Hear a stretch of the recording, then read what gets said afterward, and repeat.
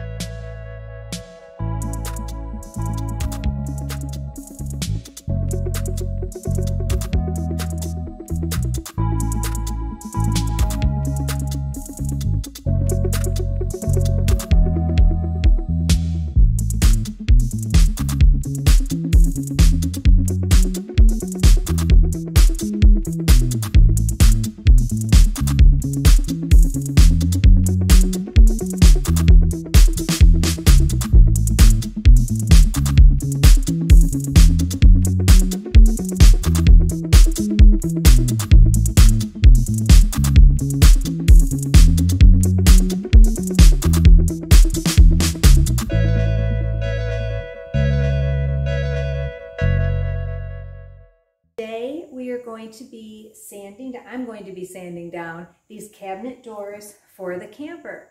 Uh, I will be using my palm sander. I think that this is a really good tool to use on these cabinets. And with that, I'm going to be using a 320 grit sandpaper. Uh, we want to get the surface roughed up a little bit, but we don't want to tear it up. So I think a 320 will be a really good grit for what we're going for here. And as always, I'll be wearing a dust mask while I'm sanding. Um, it is really important to sand down your cabinetry before you prime it and paint it because it really gives the, the paint something to stick to. So uh, today's the day. I'm going to get going and get these doors sanded.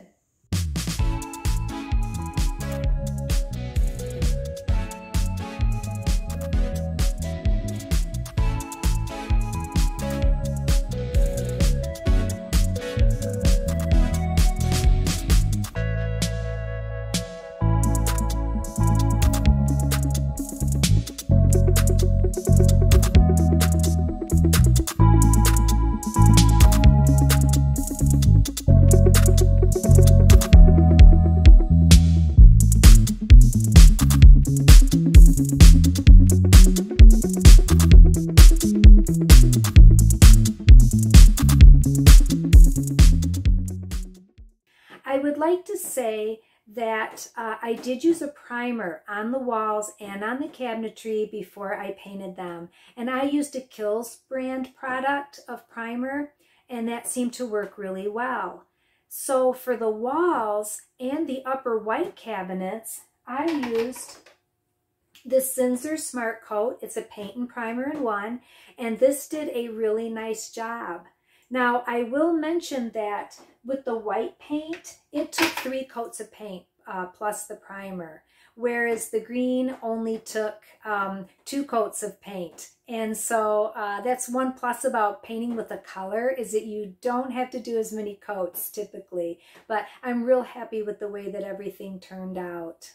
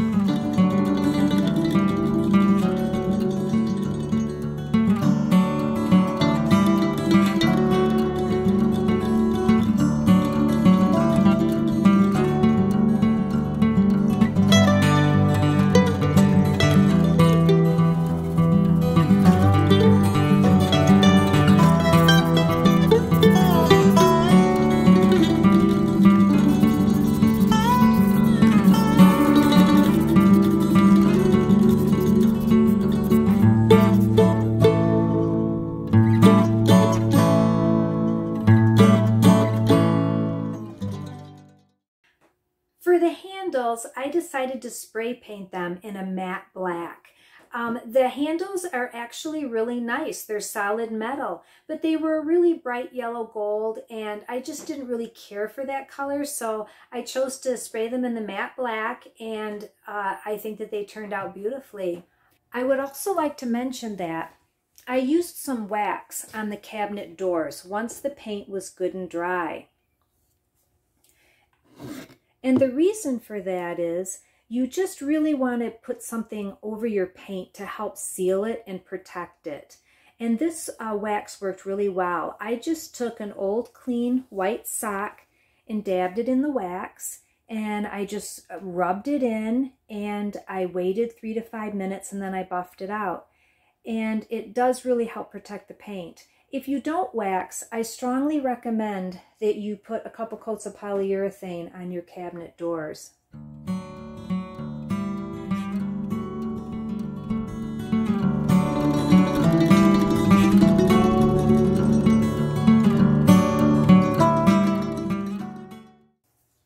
Now, these upper cabinets have these brown squares of material that are original to these cabinets. And I don't care for the way that these look. So I am going to be coming up with a solution. I'm going to be putting something in there to cover up the brown. I purchased some foam core board. And I'm going to be cutting it to the same size as the brown panels that are currently on the upper cabinets. Then I'm going to take some of my leftover wall peel and stick wallpaper from the bathroom and I'm going to cover the foam core board. Then I'm going to take the piece and I'm going to glue it into place. I'm going to glue the foam core board in place over top of the brown panels.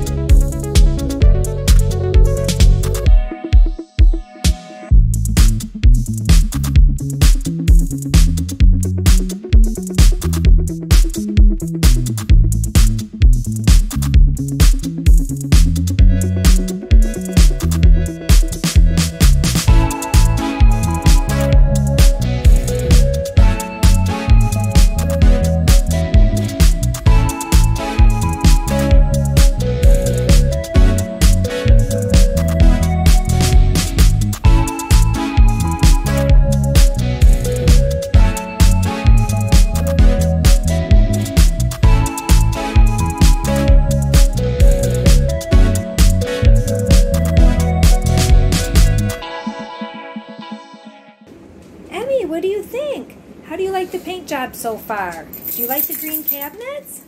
Yeah, you do? All right, what else do we have here? Oh yeah, that's only partially done. She's like, hey, I'm not sure about this. I know, what do you think, Emmy? We still have to work on the banquette cushions, don't we? I know, it's not done yet. What do you think? So far so good? You like it? Do we have your seal of Emmy approval? the reason for putting the primer on the walls and on the cabinetry is because campers, of course, unless you're living in them full time, they're not temperature controlled. Uh, they can be subject to extreme heat and extreme cold if you live in a cooler climate like we do. So it's it, preparation for your walls is very important. You really want to clean them and sand them, sand them and prime them before you paint them. And then you shouldn't have any issues with the paint sticking or adhering to your walls uh, or your cabinets. And in this case, um, I think that everything turned out beautifully. Thank you so much for watching today. If you liked today's video, please hit the thumbs up button and leave us a comment below. And please subscribe so that you will be notified of any upcoming videos. In my next video, I'm going to be doing a custom paint job on the kitchen countertops and on the kitchen table. So uh, please stay tuned. And on behalf of Rick and Emmy and myself, thank you so much for watching and have a great day. We'll see you soon.